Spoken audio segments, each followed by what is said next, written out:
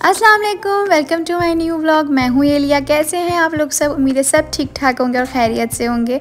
और आज जो है ना, हम लोग आए थे फातिमा को डॉक्टर के यहाँ लेके और फातिमा को बहुत तेज़ बुखार था। तो बस डॉक्टर को दवा दिल, डॉक्टर के यहाँ से दवा दिलवाने के बाद जो है ना, हम फातिमा को यहाँ पे एक छोटे से मॉल हमारे घर के करीब है, वहाँ पर हम ले आए थे और वहाँ पर हमने फातिमा को, फातिमा की पसंद का टॉय दिलाया था। क्योंकि फातिमा को बहुत ज़्यादा तेज़ बुखार हो रहा था दो तीन दिन से और उतर ही नहीं रहा था ना। तो पैनाडॉल दे दी, पट्टियाँ रख दी, लेकिन बिल्कुल भी सही नहीं हो रहा था। तो बस मुझे ये टेंशन थी कि जल्दी से ये सुबह ऑफ़िस से आएँ घर पे तो फिर हम डॉक्टर के लेके जाएँ। और आपको पता है, बच्चे कितने सेंसिटिव होते हैं मतलब इतना तेज़ इनको बुखार था कि खड़ी होती थी तो खड़ा नहीं हो जाता, गिर जाती थी एकदम से। और अभी जैसे ही बुखार अल्लाह का शुक्र है, ठीक हुआ, चार पाँच दिन से मैंने व्लॉग भी इसलिए नहीं डाला था, क्योंकि फ़ातिमा को तेज़ बुखार था। तो अब बुखार ठीक हुआ तो फिर नस्ला हो गया। और और यहाँ से जब हम गुज़र रहे थे तो यहाँ पे जो है ना बाजरा लेके खड़ा हुआ था एक लड़का जहाँ पे कबूतरों को डालते हैं। तो बस इतने में सिग्नल स्टार्ट हो, जब हमने सोचा कि हम ले लें, इतनी देर में सिग्नल स्टार्ट हो गया और बस हम ये ले नहीं सके।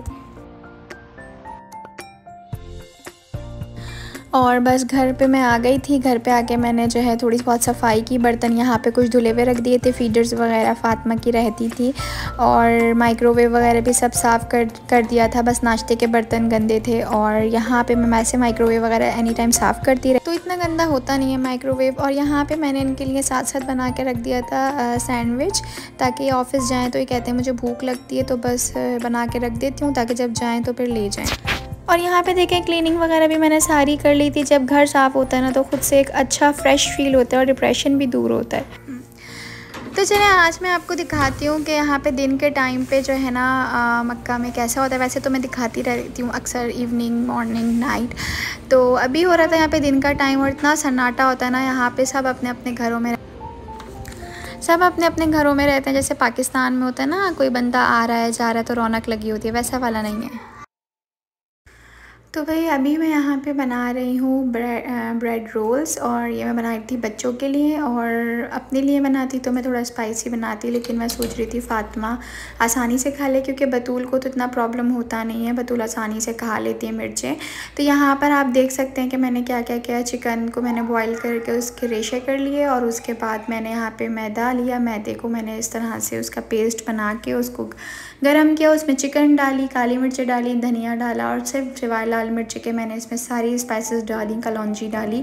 अब मैं इसमें डाल रही थी रेंच सॉस और मायोनीस और मस्टर्ड सॉस मैंने इसमें डाली और अब मैं इसको इतना पकाऊँगी कि इसमें जो भी आ, इसका पानी है ना वो बिल्कुल ड्राई हो जाए। साथ में मैंने यहाँ पे लिए हैं ब्रेड्स और ब्रेड्स के जो भी किनारे हैं ना वो मैं कट कर लूँगी और उसके बाद जो है ना मैं इसको अच्छे तरीके से बेल लूँगी।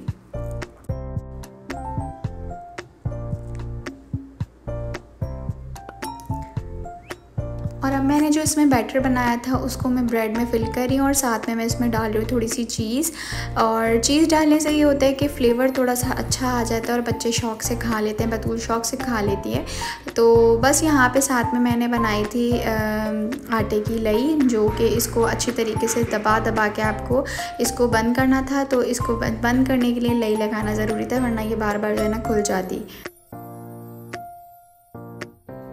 और देखिए, इसको मैं बहुत ही कम ऑयल में फ्राई कर रही हूँ क्योंकि मैं बस ज़्यादा ऑयल नहीं करना चाहती थी। बस हल्के ऑयल में बहुत अच्छे से फ्राई हो जाएँगे और अंदर से चीज़ भी मेल्ट हो जाएगी ना। तो एक साइड से जब ये गोल्डन ब्राउन हो जाएँगे ना तो फिर मैं इसको पलटूँगी और फिर मैं आपको दिखाऊँगी।